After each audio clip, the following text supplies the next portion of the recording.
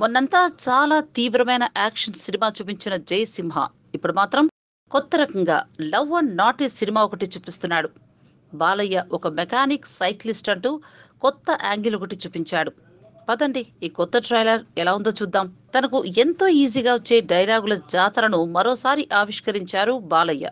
Trailer అంతా కూడా sentiment and రొమాన్స్కు సంబంధించిన సీన్లతో నింపేశారు. ఒక పక్కన నయనతార మరో పక్కన హరిప్రియ.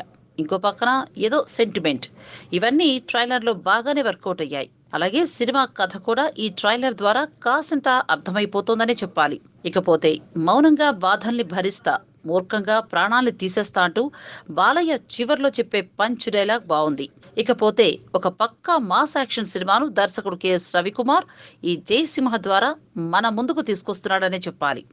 అలాగే మాస్ ప్రేక్షకుల కోసం ఈ సంక్రాంతికి మసాలా ఫిలిం ఏదీ లేదు. కాబట్టి అన్ని విధాలుగా బాలయ్యకు అడ్వాంటేజ్ అయ్యే ఛాన్స్ ఉందని ఈ ట్రైలర్ చెప్పుకొని చెప్పేస్తోంది Please subscribe. Hi, it's me Purna. Please subscribe.